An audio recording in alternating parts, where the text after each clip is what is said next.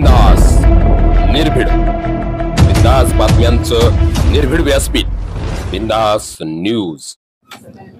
छत्रपती संभाजीनगर जिल्ह्यातील वैजापूर तालुक्यात आता वातावरण तापलेलं आहे. तापलेल्या या वातावरणामध्ये नुकतीच आचारसंहिता लागलेल्या आहेत आणि आचारसंहितेच्या काळामध्ये कशा पद्धतीनं या ठिकाणी अं, आखली आखली जाते प्रत्येक पक्ष या ठिकाणी सर्वस्व पणाला लावून उमेदवाराला विजयी करण्यासाठी प्रयत्न करताना पाहायला मिळतोय. अशातच गावोगावी होणाऱ्या सभा कॉर्नर बैठका आणि कार्यकर्त्यांची या पक्षातून त्या पक्षात होणारी जी धावपळ आहे ती आपल्या नेत्यांसाठी असणार असे असणार आहेत. मात्र या सगळ्या गोष्टी होणार आहेत. गाव खेड्याकडचा विकास जो झाला आहे काही अधुरा राहिला आहेत आणि याच गोष्टीवर आज आपण चर्चा करणार आहोत. सध्या मी आहे डाकपिंपळगाव येथे. दादा काय नाव तुमचं? बाबा सरोटे. काय सांगाल? डाकपिंपळगावच्या मूलभूत ज्या गोष्टी आहेत जसं की रस्ते वीज पाणी ज्या होणं बाकी आहे किंवा होणं अपेक्षित होतं तुम्हाला कुठल्या कुठल्या अशा गोष्टी आहेत ज्या होणं अपेक्षित होतं? सगळ्यात महत्वाचं असं का आपलं जी पंचायत समिती त्यात जास्त भ्रष्टाचार. अच्छा. आणि परत ते पण रस्त्याचे कामं काही एव- एवढे व्यवस्थित नाही. फक्त मेन मेन रस्ते झाले. जे शेतवस्ती असेल तिकडे जाणारे रस्ते तिकडे व्यवस्थित झाले अच्छा. आणि सगळ्यात महत्वाचं का आता शेतकरी वर्ग हा फक्त पंचायत समितीला जोडून राहतो. हम्म. तिथे जास्त भ्रष्टाचार आहे. पंचायत समितीवर. हा. म्हणजे क- कशा स्वरूपाचा भ्रष्टाचार झाला? वीर शेततळे? हा, सगळ्याच याच्यात काय भ्रष्टाचार झाला मग समजा शेतकऱ्याला जरा तीन लाखाची मंजुरी असली हम्म. त्याच्यामध्ये सत्तर ते ऐंशी हजार रुपये संबंधित अधिकाऱ्यांना द्यावं लागतं. हा. अच्छा. मग त्याला क- कारण कोण? त्याच्या पाठीमाग कोण? बाकी सगळं चालतं त्याच्यामध्ये विधानसभेचं अ, वलय तापलेलं असताना आता सध्या दोन उमेदवार प्रामुख्याने चर्चेत आहेत. तर अ, काय वाटतं तुम्हाला या वेळेला बाजी कोण मारेल? यावेळेला दिनेश भाऊ आपल्यासोबत आणखी दादा आहेत. दादा काय नाव तुमचं? संदीप बाळासाहेब रोटे. काय वाटतं? मूलभूत गोष्टी ज्या आहेत शेतकऱ्यांसाठी आहेत कामगारांसाठी आहेत ग्रामीण भागातील नागरिकांसाठी आहेत ज्या होणं अपेक्षित आहे आणि ज्या अधुऱ्या राहिल्या आहेत काय वाटतं?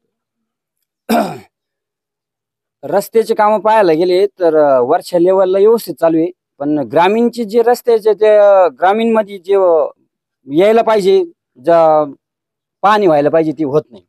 शेवटपर्यंत रस्त्याची कामं नाही. आणि कागदपत्री जास्त काम आहे पण वास्तव्यात काही नाही. तीन हजार कोटी रुपयांची कामं आमदारांनी आणल्याचं आमदार सांगतात. तर डाकपिंपळा गावामध्ये किती कामं झालीत असं तुम्हाला वाटतं?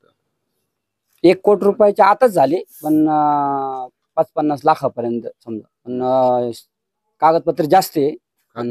कागद- हा कागदपत्र जास्त आहे. अं, वास्तविक काही नाही.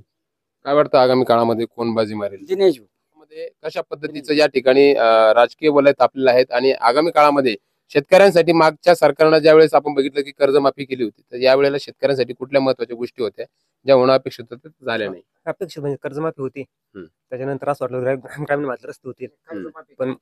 कर्जमाफी कधी कधी नाही. कर्ज कर्जमाफीची अपेक्षा होती शेतकऱ्यांना आणि शेतीमालाला भावाची अपेक्षा होती. पण ती पूर्ण विफल ठरली. आणि अं, सगळ्यात महत्त्वाचा विषय जो आहे तर गाव खेड्याला जोडणारे रस्ते. रस्त्यांची काय स्थिती आहे तुमच्या? रस्त्याचे फक्त मेन मेन रस्ते झाले पण जे पान पान रस्ते ते झालेले नाही कुठं. आनंद रस्ते बाकी. जय महाराष्ट्र आणि जय भीम. माझं महत्वाचं एकच आहे कोणतं आहे? हात करून सांगतो. गावचा विकास होऊ का न होऊ आमदार कुठला येऊ याची आम्हाला घेणं देणं नाही.